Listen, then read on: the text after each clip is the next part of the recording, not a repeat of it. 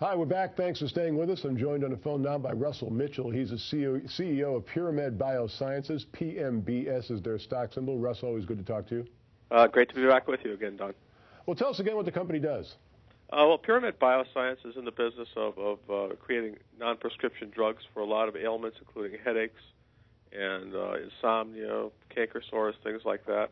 And we uh, have just launched our new migraine product, LipiGesic M. Well, what's new with the company, Russell, since we last spoke?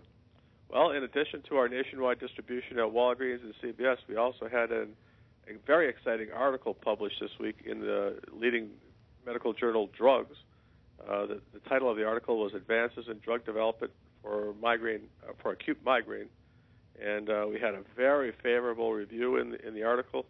It discussed a lot of the uh, advances that have come up recently in uh, the treatment of acute migraine headaches, and actually, LipiGesic M was the only one uh, described as an excellent first-line treatment. So we're very excited about that.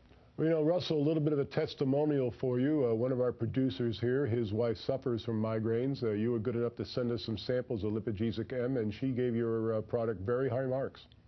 I appreciate it. It's, it's, a, it's a great new option for people. It's very safe. It cuts their cost of treatment, and it uh, provides a, a lot of options for people that can't use the existing prescription drugs. So it's a it's a great time for us, and we're looking forward to additional science coming out soon.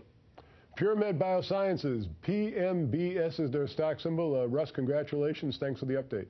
Thank you very much, Don. Take care.